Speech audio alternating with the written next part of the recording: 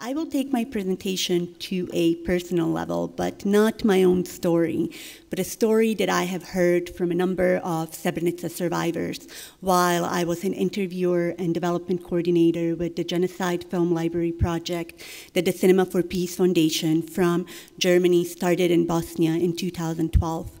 Um, I had the honor to meet ordinary people, and I think when we talk about genocide, we forget about ordinary people, about ordinary survivors and their lives and what we can learn from them.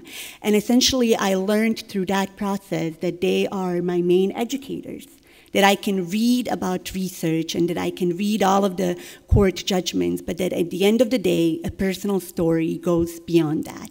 It teaches you to listen, but listen actively, to listen how they survived, what they remember, and what are they trying to teach us, how to prevent genocide, but also how to convey a positive message to future generations. Because we know that those countries that survived genocide are also prone to have genocide happen in their communities again.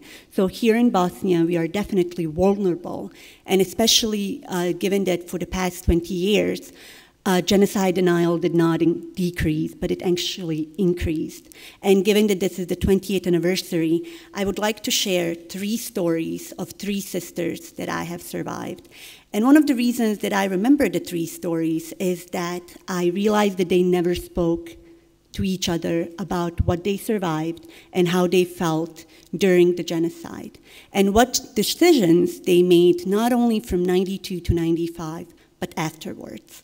So the three sisters, they were underaged in 92, and they were still children trying to understand what was going on in their hometown of Zvornik and why they had to flee their home in 93. And their stories were really simple until they started explaining the decisions that they made after 95.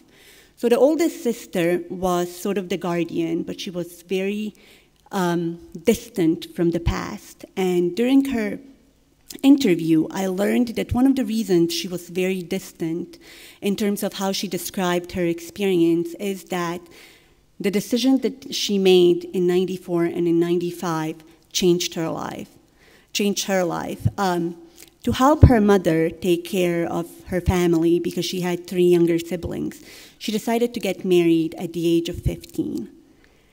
Now, when we think about a 15 year old making such a decision, we sort of think that, you know, she had to make those decisions. But she decided that her mother needed to take her, care of her younger siblings, so she got married. And in the process, she also uh, got pregnant. And what is really um, very touching about her story is that by the time she was 18, she lost her husband to the death march, and she was left with a daughter uh, without a father and with a story that she could not share with her. And it was actually the first time that she shared her story in details with me. And I think one of the reasons, and she mentioned it very indirectly, that she decided to share her story was because she could not share it with her daughter. She wanted to have a copy of her story so that she can give it to her daughter, so that her daughter can learn from a very distant what her mother went through. Now, the middle sister, she was sort of the tomboy of the family, and she was very angry. And um, I've recorded 140 interviews, and this experience really taught me a completely different level, a, completely different level of what anger means in a post-conflict society. And the middle sister was angry not at what happened in Srebrenica. That was not the main anger, but what happened to her family. She was angry at her older sister for sort of transferring the burden on her to take care of the younger siblings. So the older sister thought that she was doing the right thing by helping her mother take care of her younger siblings. But at the end, the middle sister felt that the burden was on her, and she carried it even after July 11, 95.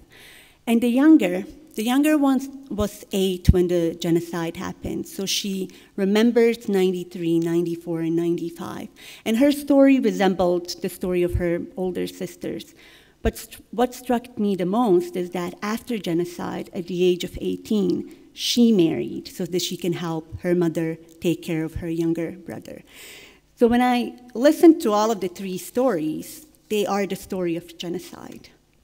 We can put aside the definition, we can put aside the court judgment, but when we listen to personal stories, these are the stories of a genocide. We have three sisters, where one made a life changing decision to help her mother during the war. And then we have the youngest one who made the same decision after the war because their circumstances did not change.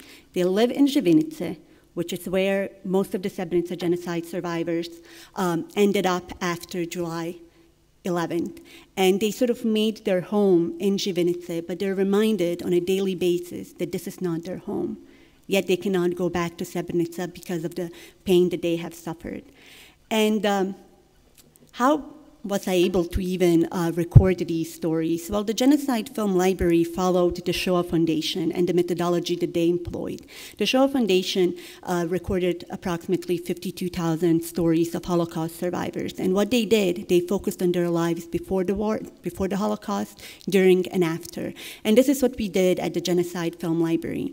And one of the things that every single survivor emphasized was that they have not been given an opportunity to talk about their lives before the war, and that their identity has been sort of stripped to the victim identity, and that they are fighting on a daily basis to sort of overcome that.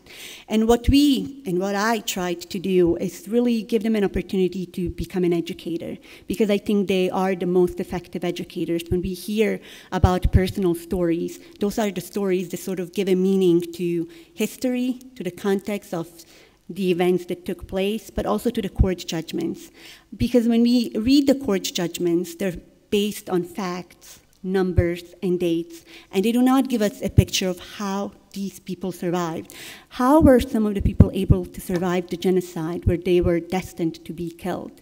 And what are the after effects of genocide? And for the women of Srebrenica specifically, um, they are still searching for their loved ones, almost all of them. And for them, just finding one remain, one bone, as they call it, so that they can kiss it and say the final goodbye, It's something that sort of gives them the strength to share their stories. And the Genocide Film Library really did that.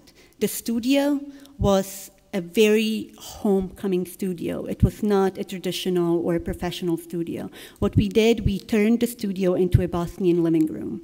So we had a small camera, we had a small microphone, and what we really did, we wanted to have a conversation with them. And after a couple of interviews where I was trying really hard to gain their trust, I realized that I had to tell them that they were not telling the story to me and to the present generation because we know what happened. I had to remind them that these stories are for the future. And what I told them, and I asked them, uh, why did they decide to even share their stories? And they said, for my great grandchildren, the children that I will not get a chance to meet. So I sort of reminded them to look at me, at that great great granddaughter who will go to Srebrenica, who will um, give a prayer to the victims, but who will not be able to meet the grandmother who lost everything and everyone in their family. And this is essentially what they did. Once they realized that their, their stories will matter more in 50 years than today, this is how they told their stories.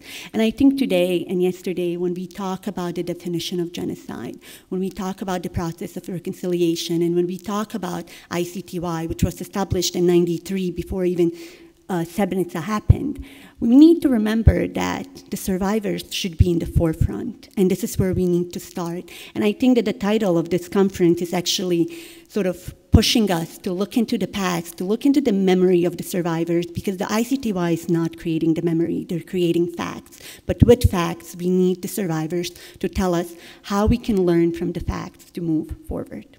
Thank you.